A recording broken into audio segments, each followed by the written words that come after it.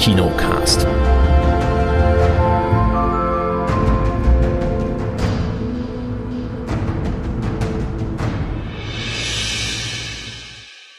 Hallo hier zur weihnachtlichen Aufgabe. Äh, Hallo hier zur weihnachtlichen Ausgabe von, vom Kinocast.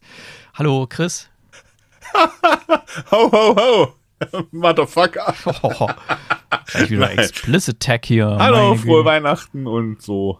Guten Tag. Frohe Weihnachten. Wenn ihr das natürlich jetzt zu Ostern hört, habt ihr Pech. Ist egal, dann halt nach Weihnachten. Frohe nach Weihnachten. Ja, kann man ja mal machen. Manchmal kriegen hier irgendwelche älteren Folgen plötzlich mal einen Push. Jetzt hat zum Beispiel die Episode Meine Stunden mit Leo nochmal einen riesen Push bekommen gerade. Äh, Habe ich gesehen in der Statistik. Wundere ich mich Okay. dann manchmal, wieso das passiert, aber gut. Ist halt so. Ja, freue ich mich auch. Ähm, wir haben Filme mitgebracht. Wir waren natürlich vergangene Woche in der Sneak Preview und haben dort den Film gesehen Vengeance. Ähm, deutscher Titel Rache auf Texanisch, sogar mal halbwegs richtig übersetzt. Ja, mal nicht schlecht. Ne? War nicht so schlecht, ja. Dann ähm, haben wir natürlich wieder die Charts mitgebracht und die Neustarts der Woche, was euch da so erwartet. Dann hatte Chris jetzt mal gesehen Top Gun Maverick, den es ja jetzt Ja. mittlerweile auf Paramount Plus gibt und äh, auf Sky lief der auch mal. Da hat er sich nicht ran getraut, aber jetzt auf Paramount Plus, da kann man da mal gucken. Und äh, dann haben wir beide den Film gesehen, Der Kaiser. Besser gesagt, der Chris hatte ihn letzte Woche mal erwähnt und ich habe ihn jetzt auch mal geschaut. Auf Sky eine Produktion über den Franz, den Kaiser Franz Beckenbauer. Ja. Und ich habe auch tatsächlich mal Paramount Plus genutzt und habe mir dort Beavis and Butthead Do the Universe ja, angeschaut. der fehlt mir tatsächlich noch. Und ja, ähm, den anderen Film machen wir später mal. Vielleicht packe ich noch eine Serie mit rein, je nachdem, wie lange es dauert. bisschen was zum Weihnachtskalender und zu Patreon kommt dann bei den allgemeinen Themen. Und natürlich haben wir Musiktipps für euch, damit ihr über die Weihnachtsfeiertage ein bisschen Musik auf die Ohren habt. Jo, fangen wir an. Rache auf Texanisch, unser Sneak-Film der Woche. Ein Film, ich kann gleich mal voranstellen, fand ich eine sehr coole Sneak. Weil ich glaube, das ist jetzt nicht so ähm, ein Film, der so im allerobersten Regal ist. Und das ist auch kein Film, der aus der untersten Schublade kommt, sondern das ist so ein schöner Film, wo man sagt, ja, der hat jetzt nicht so den riesen Hype, da gehen jetzt nicht viele Leute vielleicht ins Kino rein wegen dem Namen oder dem Titel oder irgendwas. Ich habe auch noch nicht so viel davon gehört. Ich meine, der startet auch erst am 19. Januar 2023, ist noch ein bisschen Zeit hin. Es sind gute Darsteller mit drin, zum Beispiel ähm, BJ Novak, der hat den, den Ryan gespielt bei The Office, da könnte man am ehesten kennen. Ashton Kutscher spielt noch eine Nebenrolle. Das sind so die beiden Zugpferde, würde ich mal sagen. Vielleicht Ashton Kutscher noch ein bisschen mehr Star Power als äh, The Ryan von The Office. Ähm, die anderen, ja, die hatte man schon mal irgendwo gesehen. Boyd Holbrook, Leo Tipton, Isabella Amara, Dove Cameron und so. Ähm, aber sind jetzt ja nicht die riesen Zugpferde für, für so eine Produktion. Worum geht's? Ein junger Mann, gespielt von BJ Novak, der heißt dort Ben in, der, in dem Film, der lebt in New York und hängt immer mit seinem Kumpel ab und die sind so die richtigen Aufreißer, die haben so, äh, also die reden, ja, machen immer mit Frauen rum und haben so Kurzzeitbeziehungen und man sieht die auch in der ersten Szene, wo sie eigentlich beide relativ unsympathisch rüberkommen. Mhm, Sind so auf so einer Party und reden da über ihre Frauen. Man denkt so, okay. Und reden und reden und reden, muss ich vielleicht dazu sagen. Das war ziemlich abschreckend. reden und reden und was sie da für Themen haben, dann denkt man, oh, okay, was, was, äh, was wird das jetzt, ne? Ähm, ja, ähm, was wird das jetzt? Nämlich er, also Ryan, der möchte gern wieder mal ein Podcast-Projekt starten oder weil Podcast jetzt so ein angesagtes Ding ist. Wir wissen, wovon wir reden. Ähm, Schon mal gehört, ja. Aha! und in den USA ist es ja noch ein viel größeres Ding eigentlich als hier in Deutschland, obwohl es hier mittlerweile auch ganz schön an Fahrt gewonnen hat, aber ähm, hauptsächlich durch die ganzen, ich sag mal, die Corporate-Produktion oder die Großproduktion mit irgendwelchen sehr bekannten Comedians oder mit irgendwelchen, ja, wo richtig viel Geld, True Crime und sowas. Und in den USA ist das ja noch ein bisschen auf einem anderen Level, ähm, aber man kann da auch richtig gut Geld verdienen. Und er möchte halt so ein, ja, ja, einen Podcast starten, wo er ein bisschen was zu sagen hat. Er hat viel zu sagen über Amerika, über das Leben, über sonst was und dann bekommt er eines Tages einen Anruf, ähm, ja, mit einer traurigen Person am anderen Ende, der ihm sagt, ey, deine Freundin, also er versucht es ihm langsam beizubringen, ey, deine, deine, deine Freundin ist gestorben ähm, und so und er weiß das gar nicht, worum es geht und fragt da mal nach. Und, ja, ja, ein bisschen skurril erstmal. Ja, erstmal so ganz komisch und er stellt dann fest, diese, diese Freundin, also seine feste Freundin, mit der er schon ewig zusammen sein soll, ist eine von seinen Kurzzeitbeziehungen und die hat aber, damit sie zu Hause in Ruhe gelassen wird, ähm, gesagt, sie hätte einen festen Freund in New York und hat dann immer die Fotos, die sie halt da, oder die paar Fotos, die sie zusammen gemacht haben, da immer rumgezeigt. Und die Familie in Texas, die denkt nun, er wäre nun der, der feste Freund gewesen und sie laden oder sie, sie laden ihn nicht nur ein, sondern sie fordern mehr oder weniger ein, dass er auch zur, zur Beerdigung kommt. Und ähm, ja, er kommt dann da auch hin und er sucht halt immer nach einem Thema für seinen Podcast, überlegt halt, ob er da ja vielleicht eine Story draus macht über ja, diese, diese, dieses Mädchen, diese Frau und so. Und als er dann da hinkommt, ja, ihr Bruder hat ein sehr vereinnahmendes Wesen, sag ich mal. sehr nett ausgedrückt, ja. Genau, also er muss dann auch äh, auf der Beerdigung noch eine Rede halten und so. Da dachte man erst, oh, das wird jetzt cringe oder so, aber ähm, dadurch, dass er redegewandt ist, Podcaster und Autor und so weiter, hat er es eigentlich ganz gut hingekriegt und sodass ihm alle Leute abgekauft haben, dass ihm wirklich was an ihr lag und er kann sich aber eigentlich ja gar nichts erinnern. Als er dann mit dem Bruder der ja seiner seiner Freundin in Anführungszeichen seiner verstorbenen Freundin dann im Auto nach Hause fahren will, hält er plötzlich mitten in der Pampa an und ähm, ja bondet oder der, der Bruder versucht mit ihm so ein bisschen zu bonden und als, als er dann so entgegenkommt aus reiner Freundlichkeit, sagt er dann, ey, ich, hab, ich weiß, die ist, äh, die ist hier, hat eine Drogenüberdosis, ist da gestorben, die hat nie Drogen genommen und das heißt, ähm, sie ist ermordet worden und wir wir zwei, wir finden jetzt raus, wer das war und so. Hier ist, und rächen das. Und ja, wir rächen das. Und er hat natürlich hinten am Auto, wie es in den USA, da in Texas wahrscheinlich so ist, gleich so zwei Gewehre in so einem Halterung und ja, wir rächen sie jetzt und ja, hier gibt es mexikanische Mafia und sonst was für Mafia und wir, wir ermitteln da, wir bringen die alle zur Strecke und er ist natürlich der, der Ryan ist dann eher so ein totaler Lauch, der okay, das, das war völlig überfordert. Und dann wittert er aber so eine, so eine, wir mal, so eine True Crime Story dahinter und ruft seine Produzentin an von diesem, ja, das ist so eine Art Podcast-Netzwerk oder so, für die, die produzieren. Und ähm, eröffnet ihr das Thema und sie ist da eigentlich ganz hellhörig und sagt, ja, cool, ähm, das klingt interessant, lass uns das machen. Und so verfolgt er weiter diesen Weg ihn vereinnahmt dann auch noch sehr die Familie, die natürlich so typisch texanisch, ähm, ja, so oh, ganz in ihrer ganz eigenen Art da sind. Also die Tochter, die will irgendwie Influencerin werden und hat da so eine ganz eigene Art. Der Sohn, der ist irgendwie ein bisschen, läuft auch ein bisschen neben der Spur und Ah, El Stupido. ja, wird auch El Stupido genannt. Dann wird er dann halt so vereinnahmt in das Ganze, in das Leben von, von Rodeos, von irgendwie die Partys, die da auf dem Land stattfinden. Ashton Kutscher ist da so ein Country-Plattenproduzent, der dort irgendwie sein Studio hat, auch ganz dubiose Person und äh, ja, in dieses Milieu rutscht er dann so ein bisschen ab. Er trifft sich dann auch mit der Mafia und so und versucht dann immer mit seinem Podcast-Aufnahmegerät, was er sich hat zuschicken lassen, äh, irgendwelche Stimmen einzufangen für die Interviews und versucht das alles auch immer so ein bisschen ähm, ja, so Bits äh, zu bekommen von denen, so Aussagen, die halt so sendefähig sind und das gerade bei so Gesprächen versucht er sie immer in die Richtung reinzubiegen.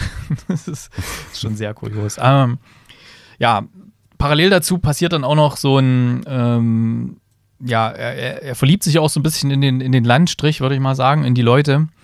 Und ja, das ist eigentlich so die ganze Story von dem, von dem Ding. Mhm. Wie fandst du es denn so? Oder habe ich noch irgendwas vergessen? äh, nee, halt bis auf dann hinten raus der große Knall mehr oder weniger.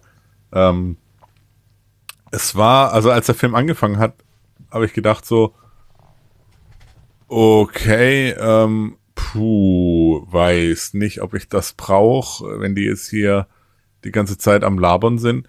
Ähm, der Film entwickelt sich dann aber dann wirklich komplett in eine andere Richtung, so ein bisschen wie man zuerst denkt, dass er wird. Und das fand ich eigentlich relativ charmant. Also auch dieses, dieses Aufeinanderprallen der Kulturen, also dieser New Yorker Lebensstil mit, oh ja, alles ist so, mm, oh, und da muss man korrekt sein und oh, hier und da, und hält man sich auch Sachen raus und weiß ich was. Und dann halt dieses texanische auf die Fresse, sage ich jetzt mal, äh, dieses direkte und äh, ja, so es hat eigentlich nur noch gefehlt, dass irgendwie gegen die Regierung auch noch wettern, also noch größer wettern, als, als es schon ja, gegen Polizei und so. Verschwörungstheorien und so, ne? Ja, ja, weil man sich halt seine eigenen Sachen zusammenstrickt und was weiß ich was alles. Und das fängt der Film eigentlich ganz nett ein. Also der zeichnet da kein besonders helles Bild von Texas oder von den Leuten von Texas, sag ich mal. Ähm, und erzählt im Endeffekt eigentlich auch eine Geschichte, die jetzt noch nicht mal komplett abwegig ist. Das fand ich relativ spannend. Weil am Anfang denkst du dir so, ja, ist klar, ja, ist klar. Und irgendwann merkst du dir, okay, das ist so abgefahren, dass sowas kann in den USA wirklich passieren. also ich sag, ich sag nur Szenen beim Rodeo. Wer ist für die äh, Texas University? Und er steht auf, yay! Und alle um ihn rum so, äh? Und dann, ja, wer ist für die, äh, das ist, also mich hat so ein bisschen erinnert an, äh, wer ist für die Volksfront Judäa und wer ist für die jüdische Volksfront. das hat's mich so ein bisschen erinnert in dem Moment. Ähm, und es ist halt wirklich so ein Clash of Cultures irgendwie und das, das mochte ich, weil der, die, die Familie komplett strange war, äh, völlig komplett zusammengewürfelt war. Also keine Ahnung, wie auch die, die Charaktere aus der Familie da zusammengepasst haben. Wie er dann in der Vergangenheit gewühlt hat von seiner angeblichen Freundin und da dann auch äh, einiges rausgefunden hat, was ihn im Endeffekt tatsächlich dann auch irgendwie wieder fasziniert hat. Also ich glaube, so hinten raus hat er tatsächlich auch irgendwelche Gefühle noch für, für seine ja, angebliche Freundin ähm, ähm, rausgekramt und bekommen. Und das war, war echt cool. Also es hat, fand, fand ich sehr, sehr cool gemacht. Äh, klar war es viel, viel Gelaber, viel, viel Text und viele Landschaftsaufnahmen und, und tolle Sachen auch von, von Texas einfach auch, von, von dort und der ganze Lifestyle und ja, hinten raus wird's ein bisschen abgefreakt, aber ansonsten war es, wie du schon gesagt hast, eine recht solide Sneak. Also so das so ein Film, den ich ohne die Sneak wahrscheinlich, der an mir vorbeigegangen wäre und wo ich jetzt nicht böse bin, dass ich ihn gesehen habe. Ja, auf jeden Fall. Also ein toller Sneak-Film. Also ich kann es nur jeden da draußen oder jeder da draußen, die gerne in die Sneak Preview gehen, nur wünschen, dass sie den Film auch bekommen, weil das war eigentlich genau das so, ja, nicht so das ja, Riesen aus dem Top-Regal, sondern wirklich ein solider Sneak Preview-Film. Überraschend hätte man so nicht geschaut, aber trotzdem gute Darsteller, schöne Szenen.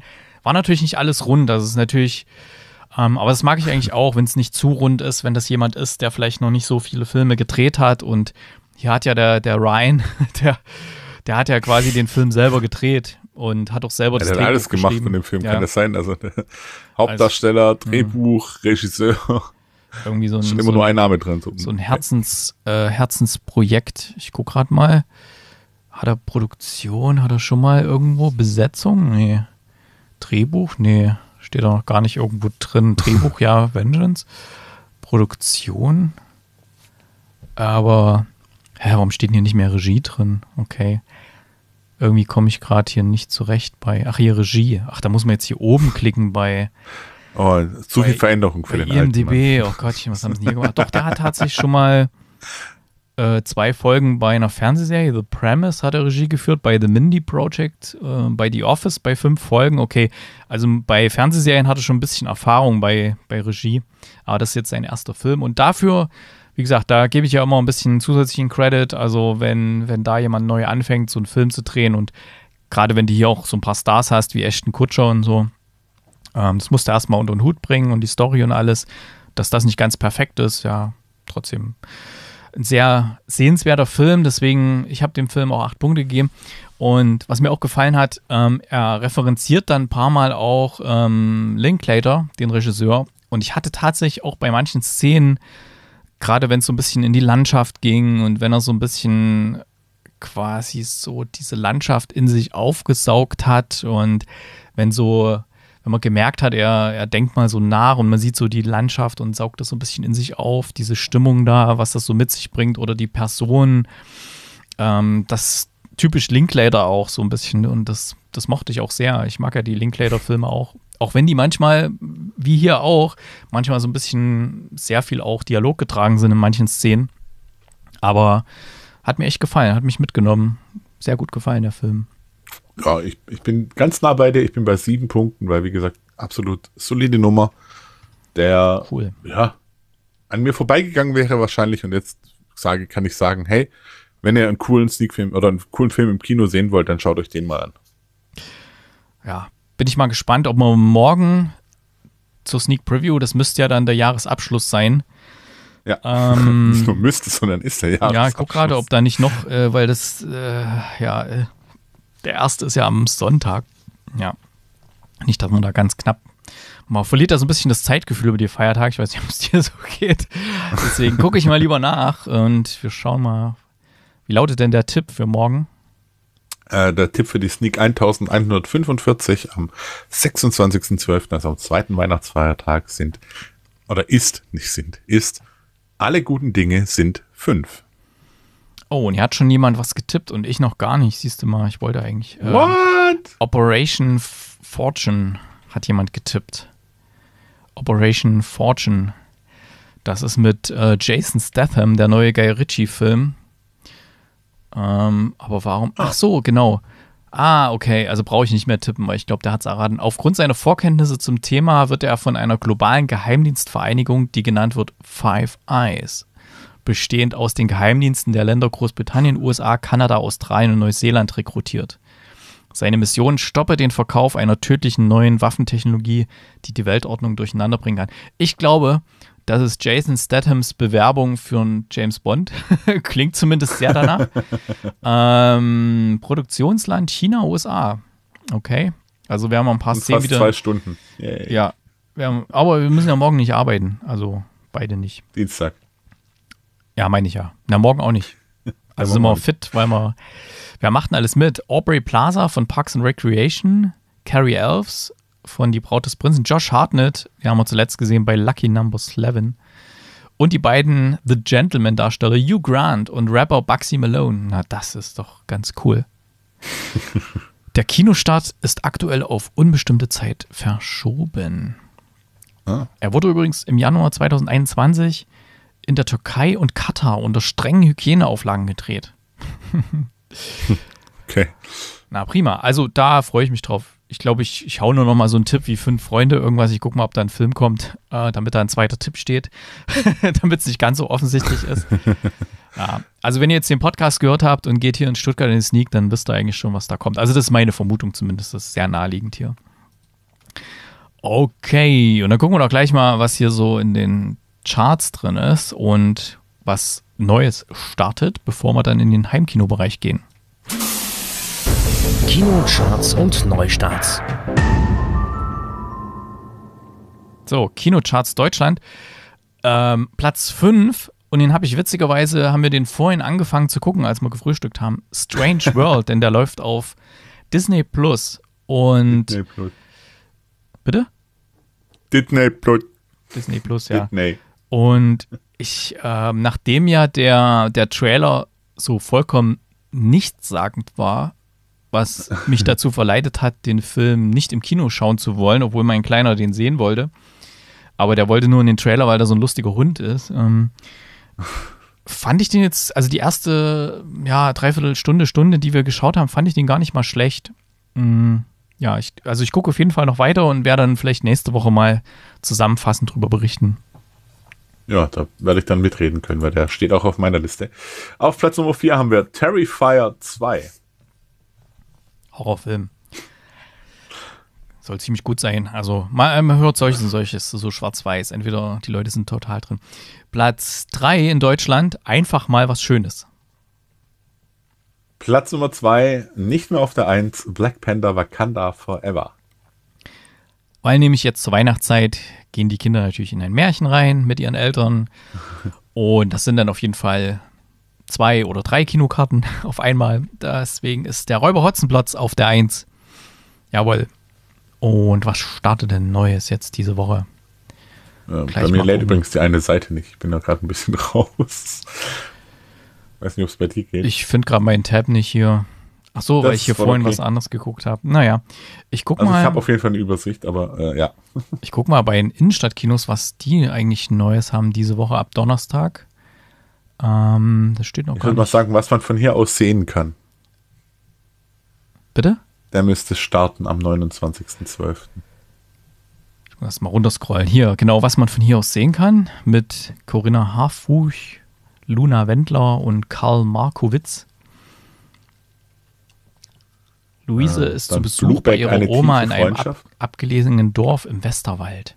Selma wohnt schon immer dort, doch eines unterscheidet sie von anderen Leuten im Ort, sie kann den Tod voraussehen.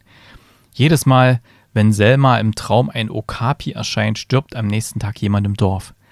Dabei ist jedoch nicht vorauszusehen, wen es treffen wird. Ne? Das ist natürlich scheiße, dann so eine Gabe. Ein demzufolge, demzufolge befürchten die Einwohner des Ortes für die nächsten Stunde das Schlimmste, wagen aber auch mal etwas, gestehen ihre Geheimnisse oder verschwinden auf einmal. Mhm.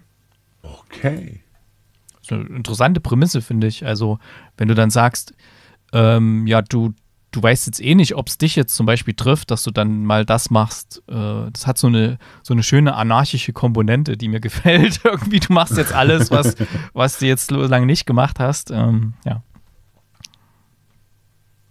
Alright. Ähm, also, statt der, wie gesagt, die eine Seite lernt immer noch nicht bei mir. Ja, dann, dann ich hier noch Blueback, eine tiefe Freundschaft. Worum geht's da? Ach so. Ähm, Abby Machen wir doch einfach so jetzt. Wie freundet sich, ich lese auch nur davor, weil ich die Links klicke, ne, übrigens. Abby freundet sich beim Tauchen mit einem wunderschönen wild, wilden Blue Groper an, einem großen wild. blauen Fisch. Sie liebt es, die Zeit mit ihrem neuen großen Freund zu verbringen, den sie Blueback tauft. Ist das hier sowas wie Shape of Water, wo die den dann bumst oder so? Nein. Ähm, ja, gut. Ihre das Kindheit. Ist traumatisiert, kann das sein? Ja, ganz schlimm. Ihre Kindheit an der westaustralischen Küste ist unbeschwert und das Meer ist ein großer Teil davon. Als sie begreift, dass der Fisch bedroht ist, lässt sie sich von ihrer militanten Mutter, gespielt von, oh, Mia Wasikowska, inspirieren und nimmt es mit den Wilderen auf, um ihren Freund zu retten. Okay. Die Mutter heißt ah, ja. übrigens im Film Dora. Dora. Dora. Äh. Dann die Insel der Zitronenblüten. Oh, den kennen wir. Habe ich gehört, dass wir den in der Sneak hatten und glaube ich letzte Woche vorgestellt haben. Ja, ach so, soll ich jetzt immer die ähm, ja, wie war das? Ja, ich finde das ganz schön hier gerade. Die ähm, eine, eine, Frau arbeitet in Afrika als irgendwie Helferin, äh, hier so Entwicklungshelferin und im Krankenhaus und sie erbt dann ein Grundstück mit Haus, mit einer Bäckerei und so in Mallorca, wo sie eigentlich aufgewachsen ist mit ihrer Schwester. Und als sie dann zurückkommt, so auch so eine Art Heimkommen-Geschichte, ähm, muss sie dann feststellen, dass doch einiges anders ist, als sie dachte. Sie versucht nämlich auch rauszufinden, warum sie das überhaupt geerbt hat und so. Ja. Okay. Das war sehr, sehr kurz zusammengefasst. Äh, ich kann ja nicht die ganzen zwei Stunden nacherzählen, die wir da, diese Telenovela. dann, das ist eine Doku, die lassen wir. Und dann haben wir noch The Most Beautiful Boy in the World. Das ist auch eine Doku, okay. Und dann mhm. noch Rambo. Rambo. Rambo, der, der erste. Blatt, 3. Januar. Rambo. Ja, also ich muss ja sagen, also Rambo, das war ja so ein, so ein rotes Tuch hier damals in der, in der DDR, ne? Also man wusste ja, dass es den Film gab, aber so, okay, also die durfte, der war ja absolut verboten, ja, durfte man nicht schauen. Also so ein, so ein Film, wo so ein Kämpfer aus dem kapitalistischen Ausland hier und sowas, also das gab's ja nicht. der lief ja auch nicht im Fernsehen irgendwie, sonst hätte man den ja mal gucken können. Im Kino lief er auf gar keinen Fall. Und sämtliche Propaganda über den den Film wurde ja versucht, da irgendwie unten zu halten, da kam ja gar nichts. Und als ich den dann gesehen habe, nach, nachdem die Mauer gefallen war, den ersten Teil, dachte ich, das ist ja überhaupt nicht so, wie die uns erzählt haben. Ne? Also wirklich, also es ging mir bei vielen Sachen ja so. Ähm, aber bei dem ganz besonders, weil da hatte ich so die Vorstellung, dass er einfach so alle möglichen Leute aber hier geht es ja eher um so einen Vietnam-Heimkehrer, der total traumatisiert ist und äh, mit dem normalen Leben nicht mehr klarkommt und die Gesellschaft will ihn eigentlich auch nicht haben. weil sie da immer wieder dran erinnert werden an den Krieg und so. Also wer den ersten Teil noch nicht gesehen hat, erstmal sowieso, weiß nicht, hier im Kinocast kann man ja solche Tipps mal geben. Also schaut den auf jeden Fall mal. Ob ihr den jetzt unbedingt im Kino sehen möchtet, auf jeden Fall. Wer den nicht gesehen hat, kann da ruhig mal ins Kino gehen. Mhm. Ansonsten sehr empfehlenswerter Film, richtig gut gemacht. Ist vielleicht nicht so, wie man denkt, dass er ist. Die, der zweite und dritte ist dann allerdings so, wie man denkt, dass er ist. Ja. Okay. Okay. Dann sind wir durch Gut. mit den Neustarts. Mensch, ja, viel erzählt. Jetzt bist du dran bei Heim Heimkino, warte mal. Heimkino. Top Gun Maverick. Top Gun Maverick, ja, den hatten wir ja auch schon vor ein paar Wochen hier in der Sendung. Der zweite Teil von Top Gun, die Weitererzählung Top Gun aus dem Jahre 1835. Ähm, oder von wann ist der, der erste Top Gun? Das war ja noch Ah, die, Gebrü 86, die Gebrüder. Wright, war das oder was? Top Also- Gun. Also, Top Gun, nur, Doppelpunkt. nur Gebrüder Wright. sechs und 36 Jahre später ähm, geht, geht's weiter und Tom Cruise ist zurück. Ich, ich glaube, ich muss gar nicht halt viel erzählen. Tom Cruise ist zurück, kommt als Captain zurück, soll äh, eine, eine, eine Reihe junger Piloten anleiten, die hier ähm, äh, eine, eine total heikle Mission haben, die keiner wirklich fliegen kann, außer natürlich Maverick. also Captain Pete Maverick Mitchell, der dann halt die neue Generation anführt. Ähm, und ich muss tatsächlich sagen, ich fand ihn gar nicht so schlimm, weil es ein kompletter Popcorn-Film einfach ist. Es ist äh, Genau. herrlich erzählt, herrlich einfach erzählt. Es ist äh, schöne Action-Szenen drin. Wenn man halt auf so Fliegerei und so steht, dann ist es eh episch. Äh, sehr episch auch aufgebaut natürlich mit der Musik, mit dem, dem Spiel von an den Charakteren, dass jeder so, ja, hier und bah und hast du noch nicht und puh. Also, äh, es ist einfach, einfach cool gemacht. Es, es war relativ witzig. Äh, Jennifer Connolly ist auch noch mal dabei und die ist immer noch äh, ansehlich, finde ich. Ähm, viele bekannte Gesichter einfach aus dem ersten Teil und äh, überschaubare Story eigentlich. Bisschen, bisschen Banane mit diesem, oh ja, ein Schurkenstaat und wir müssen das aufsprengen und dann da reinbomben. Hahaha. Ja. Aber Popcorn-Kino Deluxe, äh, relativ lang. Ich hatte trotz allem Spaß, muss ich sagen. Und ich gebe ihm tatsächlich äh, 7,5 Punkte. Auch wenn ich im Nachhinein sagen muss, okay, nicht ins Kino zu gehen, war eine richtige Entscheidung. Echt? Ich hätte es gerade gedacht. Die großen Bilder. Also mir, mich hat er ja in den Sitz gedrückt, der Film. Ne? Ich fand den ja im Kino Du, also- richtig geil. Ich war ja im, Ma- im Gloria mit Atmos und so. Hm? Ja, ich, ich muss ja sagen, also mein Fernseher hat es ganz gut auch dargestellt. Fand ich ganz schön. Schön Ah. dargestellt alles und, und pff, ja, so wirklich in den Sitz gedrückt hat es mich halt nicht. Also es hat mich nicht so kom komplett aus dem Sitz dann auch rausgehauen oder reingedrückt, sondern einfach nur angenehmer Film, Actionfilm. Wenn man auch mal zwischendurch eine halbe, dreiviertel Stunde Pause macht, ist nicht schlimm, weil man weiß eh, was passieren wird. Äh, ja. Und deswegen, ich, ich fand's cool. Kann man auf jeden Fall anschauen. Also wenn ihr die Möglichkeit habt, schaut ihn auf Paramount Plus. Da könnt ihr ihn jetzt klicken und ich sag mal, wenn man nicht gesehen hat, man kann sich auf jeden Fall anschauen. Kam der nicht auf Sky? Siehst du auch so, ne? Oder so?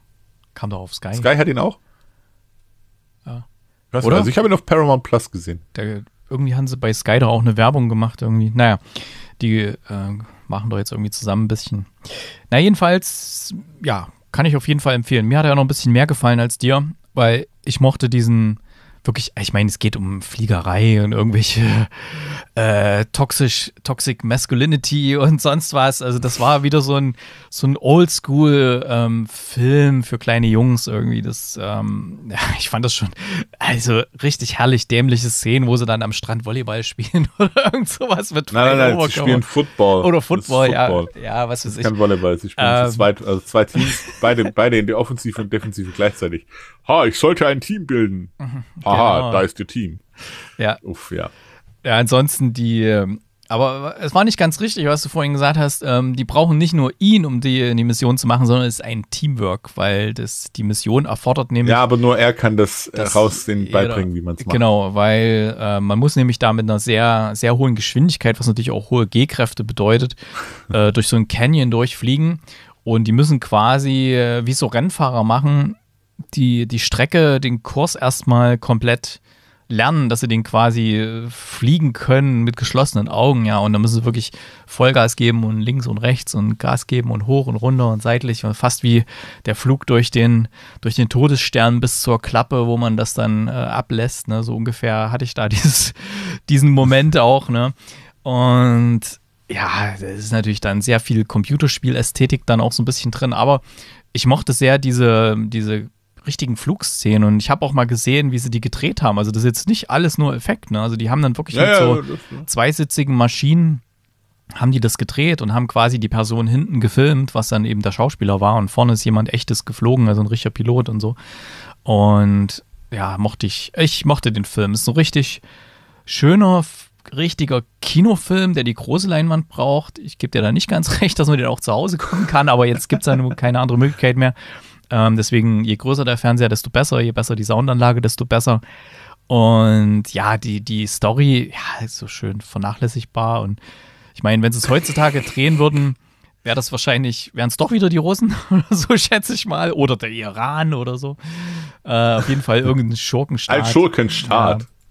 Da halten sich natürlich alles offen. Und, ja, also hat Spaß gemacht, das auch mal wieder zu sehen. Auch die, die neuen Leute, die da jetzt hochkommen. Und war Ja, sehr viel aber- aber- Flair vom Alten drin. Hm?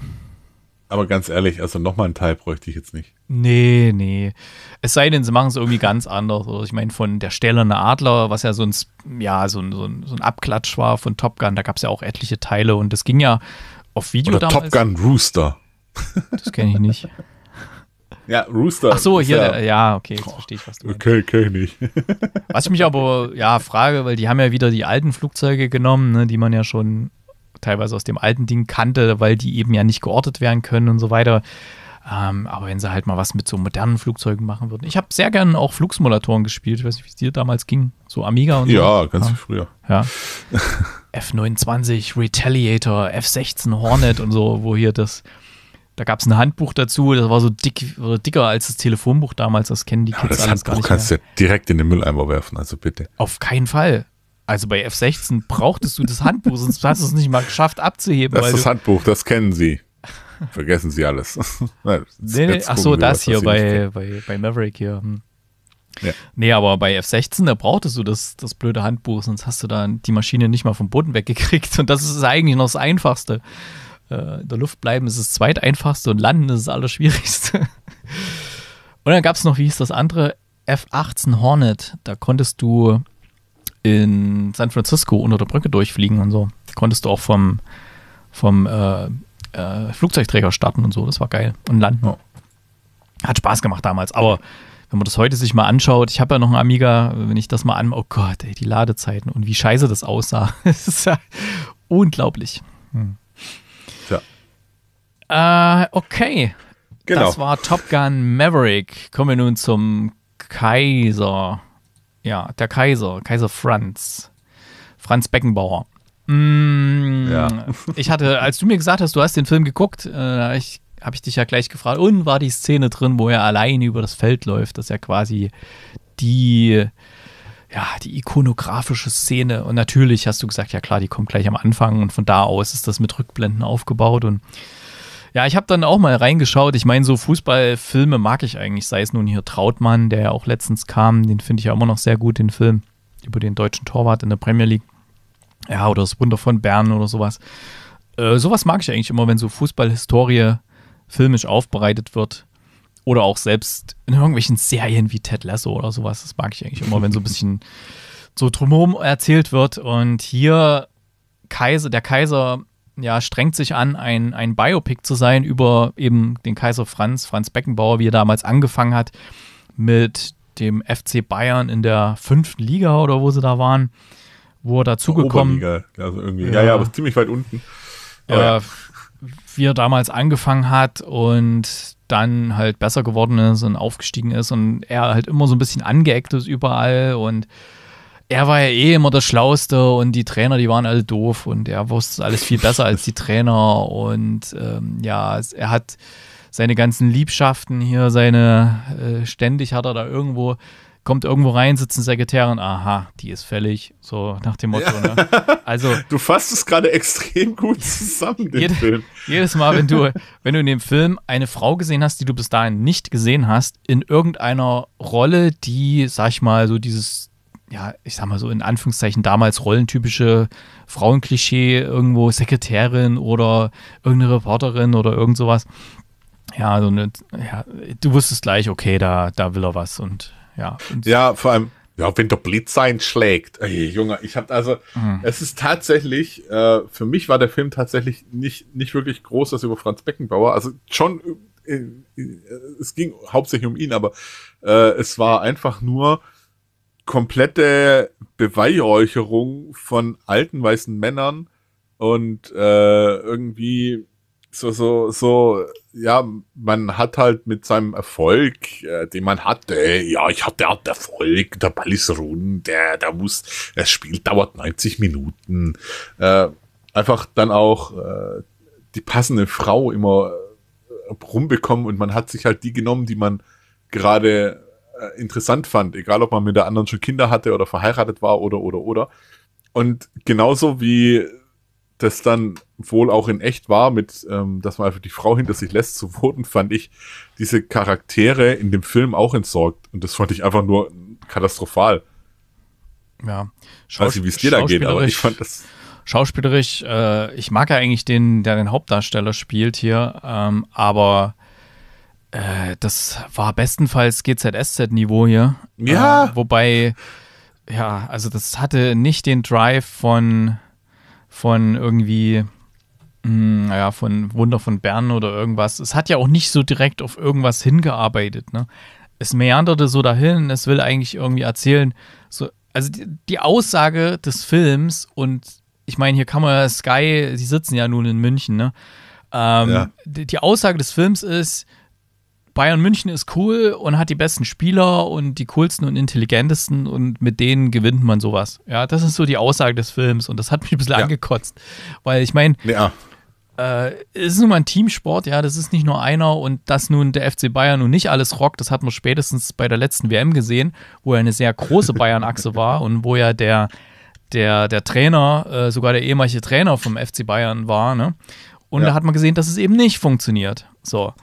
Und ja, also, und alle anderen, also da gab es ja diverse Szenen im Film, wo dann der Beckenbauer irgendwelche anderen, die wurden alle kritisiert und dumm gemacht. So, er ist ja der große, der Shiny ja. Star, der, der, der, der es durchblickt hat und so. Und alle anderen. Der komplett unfehlbare, ja. der, was es ich, ja. wie viel Steuern hinterzogen hat, was er ja. gar nicht wusste, weil er gar nichts dafür kann. Obwohl, das ist ja beim FC Geschwätz. Bayern Usus, habe ich gehört, ne? Das, das macht das jeder. Scheinbar schon. Mhm. Auch wenn wir jetzt, jetzt, jetzt kriegen wir wahrscheinlich komplett den Bayern-Hass ab. Oh nein. Ähm, aber ich meine, hey, aber bevor was, jetzt was heißt das? Das sind ja Fakten. Das hat ja. Ja, ja, aber ich, ich wollte gerade sagen, bevor jetzt hier äh, uns irgendwelche minderjährigen französischen äh, Prostituierten geschickt werden, ähm, bitte nicht. Bitte nehmen Sie davon Abstand, Dankeschön.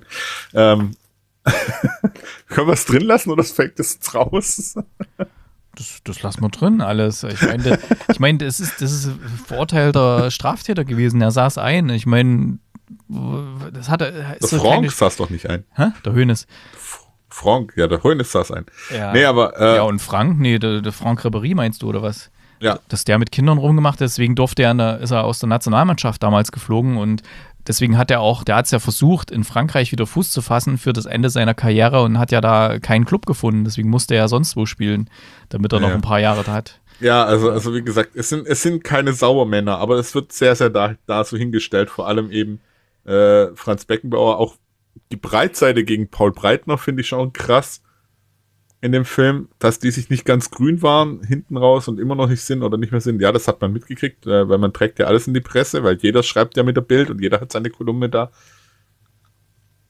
Aber es war schon eine komplette Glorifizierung und für mich dann einfach auch dieses teilweise völlig verwässernde Bild, was, was gezeichnet wird. Und das fand ich einfach nur, einfach nur zum Kotzen, ganz ehrlich sagen. Nicht Weil, nur verwässerbar, ja, einfach Schönfärberei viel drin. Ja, also komplett, komplett und halt so, ja, guck ihn an und er ist so toll und ah. Oder wie man. Eigentlich sollten wir ihm auf ewig dankbar sein, weil ja, er hat genau. die WM gewonnen. Er hat das deutsche Fußball hier zurückgebracht und alten Scheiße war halt einer von vielen und dann das die vom DFB ja wohl auch keine Ahnung, gut, die haben keine Ahnung, aber dass die demnach auch keine Ahnung hatten und nur Beckenbauer halt die Ahnung hatte. Mit, ja, aber du hast keinen Trainerschein. Ja, dann macht's halt der anders. Ja, nein, Franz, oh mein Gott, oh, hier, warte, oh, ja, ich küsse doch keine Eier. Hm, ja, mhm. und solche Sachen. Also, ja, und ich ey. sag mal, als, als Spieler die WM zu gewinnen und dann auch mal die Weltmeisterschaft als Trainer, hey, Didier Deschamps, ja, ich meine, ja, man kann dann auch in den folgenden Jahren auch nochmal äh, in der Euro sehr weit kommen und äh, man kann dann auch sogar nochmal ins Endspiel von der WM kommen. Ja, ich meine, äh, Franz, ja, was los? Warum war das nur eine Eintagsfliege ja. da?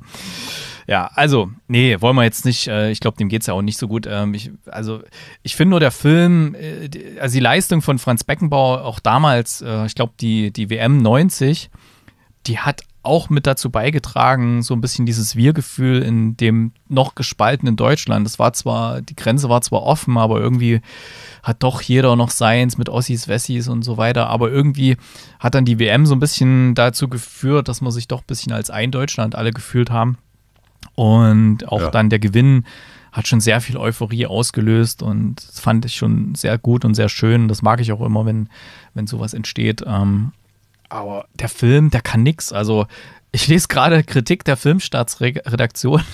Viele Grüße von hier. Der Kaiser. Zitat, so gescheitert wie die deutsche WM-Mannschaft in Katar. ist die Überschrift. ähm, ja. Also kann man vielleicht, glaube ich, und ich bin auch sehr enttäuscht, äh, von Sky so einen Rotz zu sehen. Ja. Ähm, weil Sky hat für mich oder hat immer sehr, sehr gute Sachen produziert, die sie selber gemacht haben. Und auch gerade so, wenn sie sich deutsche Themen angenommen haben oder auch Dokumentationen, wie das mit München hier, dieses, äh, diese, dieses Attentat hier, diese Schießerei da in dem McDonalds und draußen hier, das war ja richtig stark, diese Doku, die auch eine Sky-Produktion war.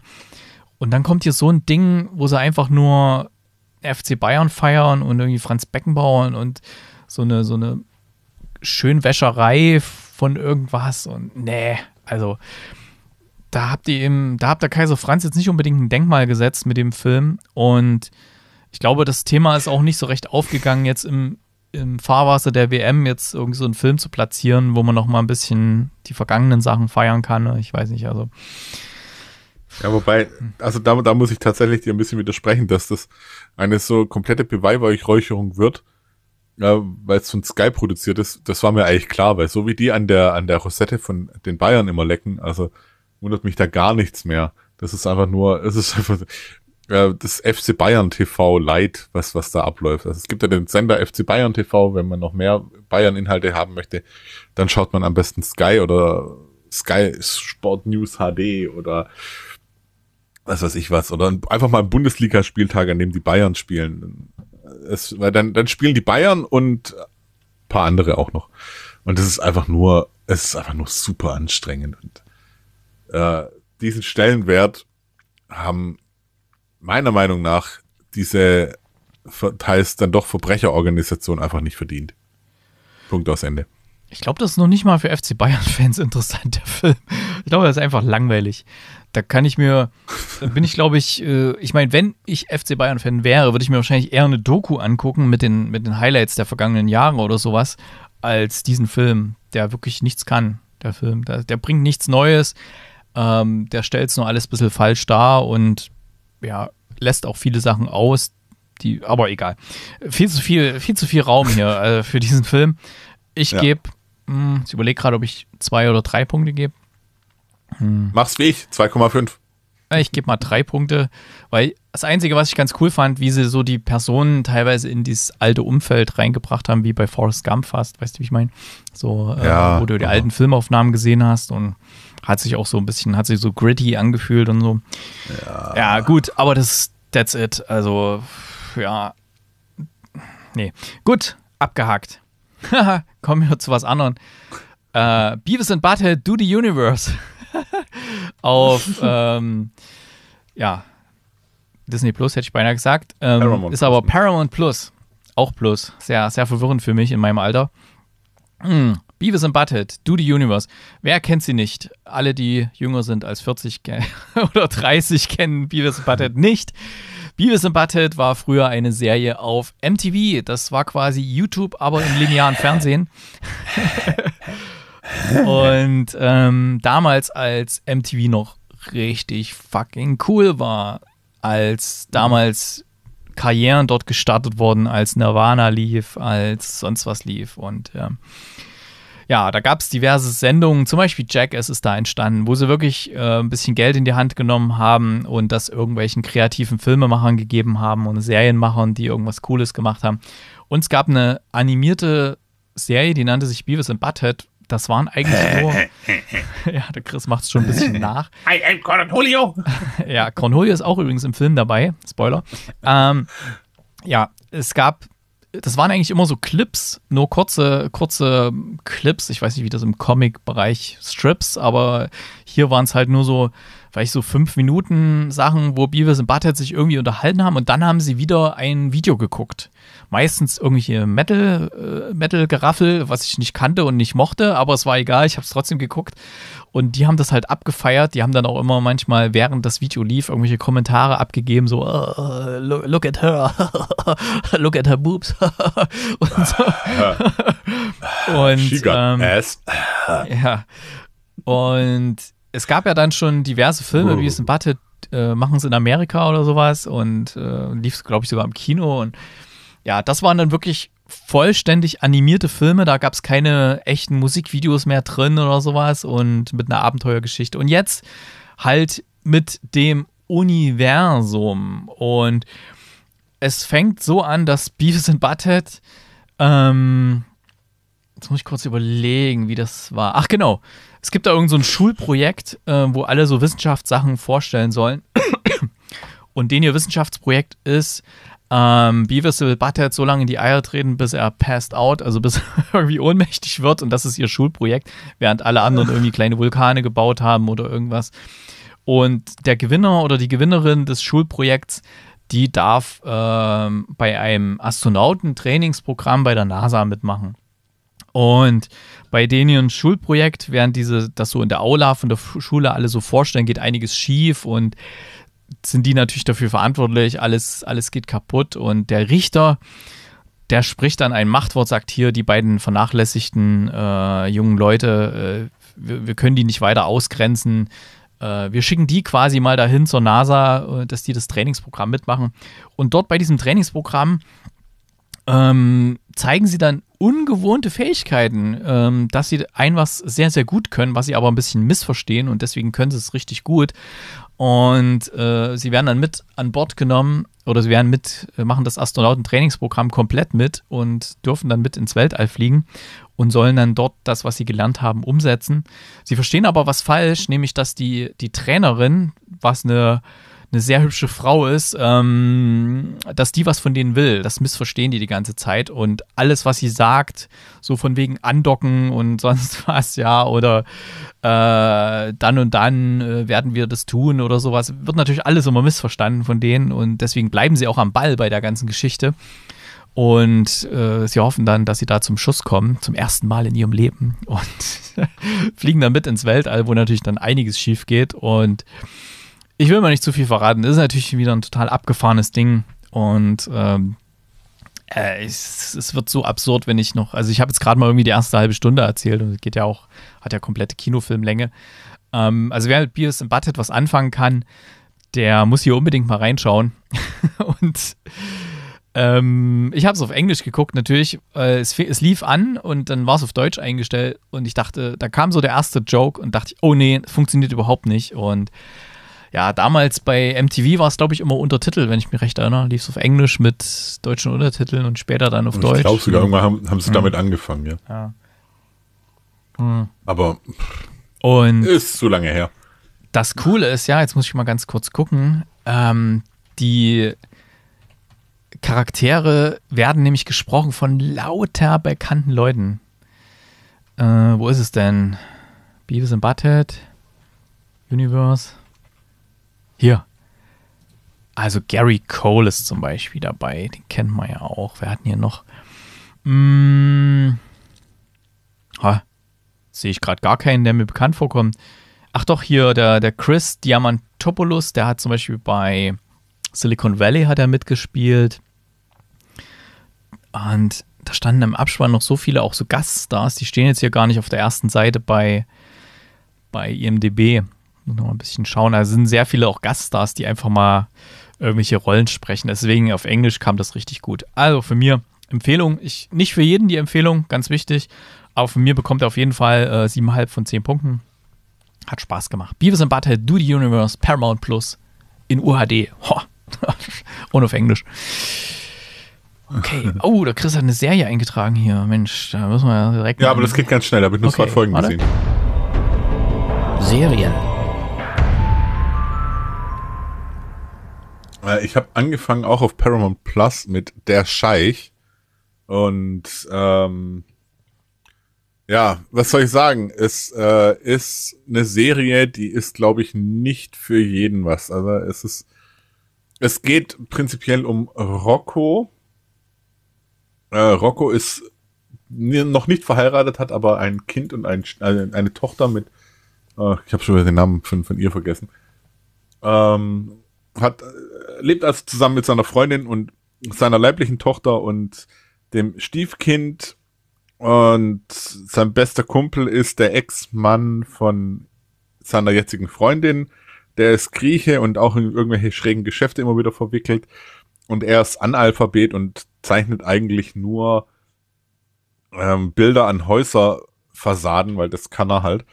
Und er ist einer, der unglaubliche Geschichten erzählen kann. Und die machen, irgendwie kommt, kommt in eine doofe Situation rein, wo, wo es heißt, ja, wo ist unser, wo ist unser Geld, wo ist unser Geld, gib uns unser Geld wieder, weil er hat irgendwann mal eine Tasche angenommen, wo 100.000 Euro drin sind. Und die, wo ihm das gegeben haben, die wollen das Geld wieder, ähm, und er hat es halt nicht. Und stellt sich auf jeden Fall auch so dumm, dass man sagen kann, okay, vielleicht weiß er es wirklich nicht, wo es ist. Ähm, ja, und die machen Urlaub in der Schweiz und da eskaliert es so ein bisschen dahingehend, dass ähm, er sich als ein Sohn von einem vom, vom Königshaus von Katar ausgibt und dort in der Schweiz trifft er eben auf einen Immobilienmakler, der da voll drauf reinfällt. Und ja, er halt überlegt, okay, vielleicht bekomme ich damit ja ähm, die Möglichkeit, äh, die, die 100.000 Euro zu kriegen, damit ich da aus der anderen Nummer rauskomme. Und so entwickelt sich halt eine Lügengeschichte, auf die die, die Schweizer Banker oder die Schweizer Immobilienbranche oder zumindest der eine total drauf reinfällt. Ach, das Ähm, war das, was da beworben wurde als hier der, der Schweizer Betrugsfall oder sowas, ne? Da hatte ich, glaube ich. Ja, so, so, so in die Richtung auf jeden Ah. Fall. Und Hm. wa- was soll ich, was soll ich sagen? Die erste Folge ist äh, sehr anstrengend, meiner Meinung nach, weil es ganz viele Charaktere eingeführt werden. Es ist völlig wirr, es ist völlig äh, durcheinander, es ist ein, ein ja, äh, teils übertriebenes dargestelltes, teils relativ plump dargestelltes Stück Serie. Und ich hatte dann gedacht, okay, gegen Ende wurde es einigermaßen erträglich. Also wenn man die erste Folge durch hat, wird es so ein bisschen, oder gegen Ende halt der ersten Folge wird es ein wenig erträglich. Und dann in der zweiten Folge, ohne jetzt zu viel zu spoilern, nur ähm, die Eltern oder der Vater von seiner Freundin, die sind sehr wohlhabend und die Tochter haben sie ja nur quasi verloren wegen ihm und ähm, das endet da, oder das, das, die sind da beim Essen, um da auch noch um das Geld zu betteln. Ähm, und, und dann fangen sie an zu singen. Und das ist einfach so, the fuck? Also ich hing echt dran so, hä? Das, das, das hat für mich überhaupt vorne und hinten nicht mehr zusammengepasst. Und es ist, ja, ein- einfach schräg. Ich find's ganz arg schräg. Ich find's, ja, ich sagen wir so, ich bin jetzt nach zwei Folgen an dem Punkt, wo ich nicht weiß, ob ich wirklich weiter gucke, ob es mich wirklich so sehr interessiert, dass ich es zu Ende gucke, vielleicht mal irgendwann. Ja, aber auf einen Rutsch jetzt durchziehen würde ich es nicht. Deswegen, ich, ich kann noch kein abschließendes Urteil mehr erlauben oder erlaube mir auch keins erstmal, solange ich es nicht komplett gesehen habe. Bislang ist es eher so, pff, ja, es ist für mich viel mehr Tamtam drumrum gemacht, wie das am Ende die Serie liefert. Ah, ich weiß nicht, also richtig Lust hast du mir nicht gemacht, da reinzugucken. Ja, das, ich glaube, du würdest auch die Krise kriegen. Du würdest Ah, sagen, was war so okay. Quatsch. Also, So, das, Dann- deswegen, Dann schaue ich da mal nicht rein. Das lasse ich mal aus. ja, schau, schau dir einfach mal die erste Folge an und dann mm, sagst du mir, ob, ob oder ob nicht. Ich bin gerade ich bin gerade in das Superstore-Loch gefallen. Ich weiß nicht, ob du das Superstore kennst, die Serie. Ja, Superstar ist auch ganz cool. Also ich hatte für Fortsetzung folgt damals, habe ich irgendwie die ersten zwei Folgen geschaut und fand es nicht so. Und das haben aber einige immer wieder geschrieben, dass es gut ist und bin jetzt gerade am Durchbingen und so. Ja, Ja. Richtig cool. Superstore, kann ich empfehlen. Netflix, da gibt es ja mittlerweile irgendwie zig Staffeln. Also ich habe da noch richtig viel vor mir. Und ja, ich finde auch, vielleicht wer damit anfangen möchte, auch, ähm, das wird wirklich erst am Ende der ersten Staffel richtig gut. Das äh, hat wirklich sehr lange gebraucht, bis es so Ja, seinen, bisschen auch. seinen Ton gefunden hat und die Charaktere und so. Alright, so Games, vielleicht eine kurze Erwähnung, ähm, nur so als, ohne dass man großartig Rubrik. Ähm, schaut immer mal bei Epic Games im, im Loader rein, da gibt es jeden Tag fast äh, kostenlose Spiele mh, zum Runterladen. Nur mal so die Erinnerung, nicht vergessen, jeden Tag mal aufmachen. und dann kommen wir mal in den Bereich Sonstiges. Ich mache mal News rein hier. News. So, der Weihnachtskalender, der ist ja nun Geschichte, kann man ja sagen. Jetzt können wir es ja verraten. Ich habe gewonnen, weil ich wusste alles. Du wusstest alles, echt Ja. Ja. krass, dass du das wieder gemacht hast. Ich hatte ja beim letzten Mal so ein bisschen vorgewarnt, dass ich gesagt habe, okay, also Leute, irgendwo eine Lösung posten und dann schreiben hier tausend Leute ab oder sowas oder hunderte. Leider bei dem Rätsel mit Doc, das Glück hat vier Pfoten, wo man den, den Hund sieht und den Blindenstock und so weiter, ähm, haben wirklich wieder in der einen, im einen For äh, in der einen Facebook-Gruppe war es diesmal und in dem einen Forum hatte ich es auch gesehen, hat jemand gepostet The Flash, wo ich nicht weiß, was das damit zu tun hat mit diesem Bild mit dem Hund und dem Blindenstock oder sowas. Ähm, und haben natürlich wieder zig Leute abgeschrieben. Schnell nur mal einen Namen hier, Gabriele Peter. so. äh, ist ja wahrscheinlich eh ein Fake-Name oder so. Cordula. Ähm, oder der Tilo, Tilo B. Punkt, äh, ja, auch Andreas B. Punkt, äh, und so weiter. Also, deswegen, ich hatte es ja gesagt und ich habe es dann auch festgestellt, ich sehe ja, wo die Klicks herkommen. Und da die meistens machen die ja in diesen Foren auch so einen Link, so, hey, da könnt ihr mitmachen und hier ist die Lösung und so weiter. Deswegen sehe ich ja, wo die herkommen, die Besucher.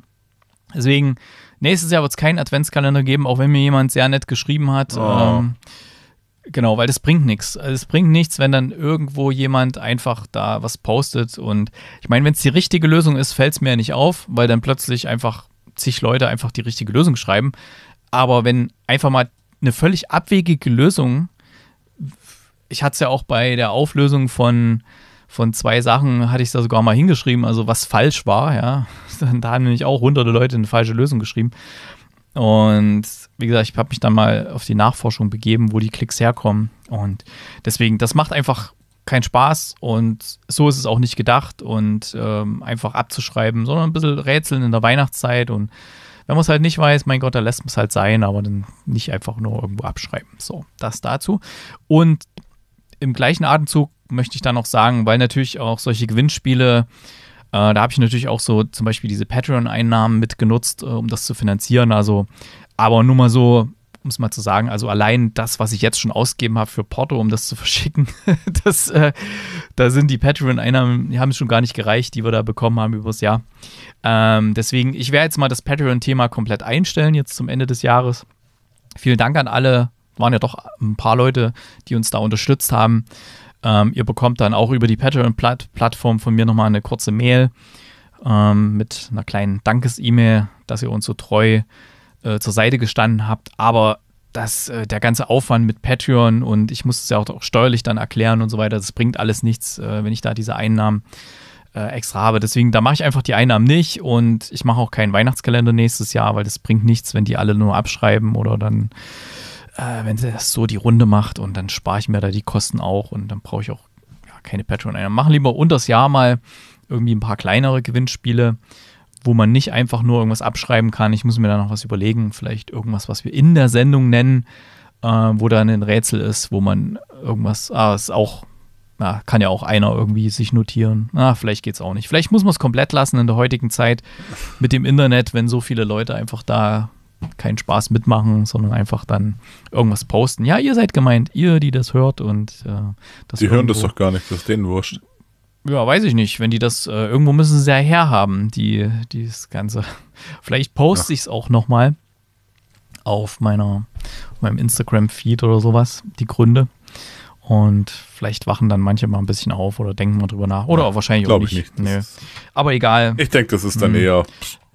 Bringt auf jeden Fall nichts, wenn ich mich in der Weihnachtszeit dann darüber ärgere, dass irgendwie ein paar hundert Leute da eine falsche Lösung schreiben, weil sie irgendwo ähm, in irgendeinem Forum da das Ding gepostet wird und irgendjemand schreibt dann die vermeintlich richtige Lösung, was natürlich dann das Falsche ist und irgendwie hunderte Leute schreiben das ab. Da ärgere ich mich nur und das will ich in der Vorweihnachtszeit nicht mehr haben.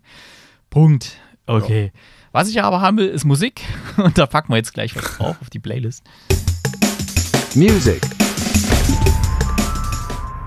Was packst du denn drauf und warum? Einfach, einfach der Hammer, der Übergang von dir. Äh, ich pack drauf aus Top Gun Maverick äh, von Miles Teller gespielt, äh, Great Balls of Fire. Sehr gut. Gibt es auf Spotify? Ja?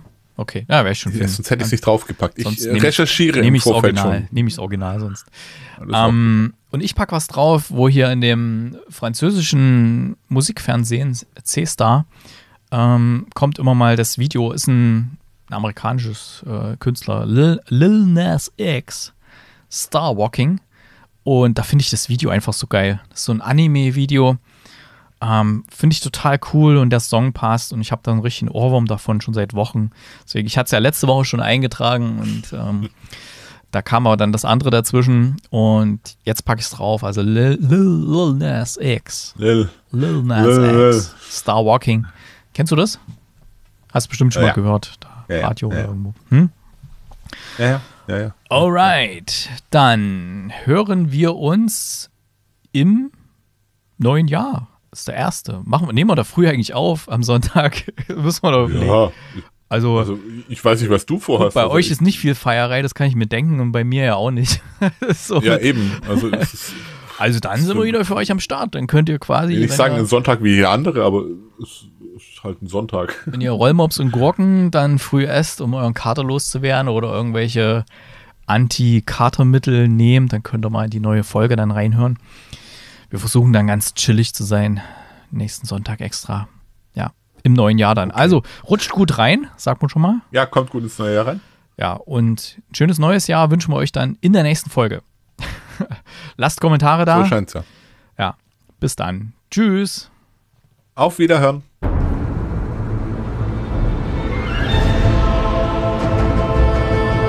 Der Kinocast.